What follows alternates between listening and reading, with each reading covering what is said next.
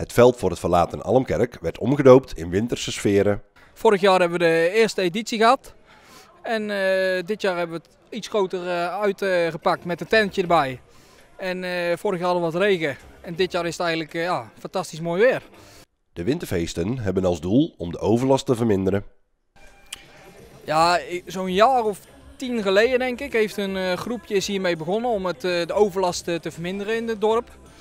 En toen hebben ze gezegd van we gaan een feest organiseren in het verlaat. En sinds een jaar of, dit is mijn vijfde jaar dat ik dit doe hebben we met oud en nieuw hebben we een feest in het verlaat.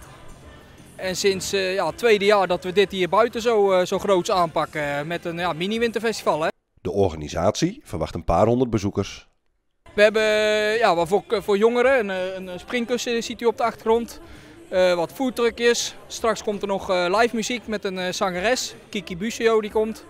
Dus ja, voor ieder wat wils eigenlijk. Vorig jaar was het ook gezellig druk en toen was het zelfs een beetje eh, regenachtig. Dus uh, dit jaar uh, hetzelfde of iets meer gaan we wel vanuit, ja. Tijdens Oud en Nieuw organiseert de Stichting Winterfeesten Almkerk een feestavond vanaf 1 uur s'nachts in het verlaat. Ja, dan hebben we een feest van, van 1 uur s'nachts tot half 6 morgens vroeg. En daar verwachten we een mannetje of 900.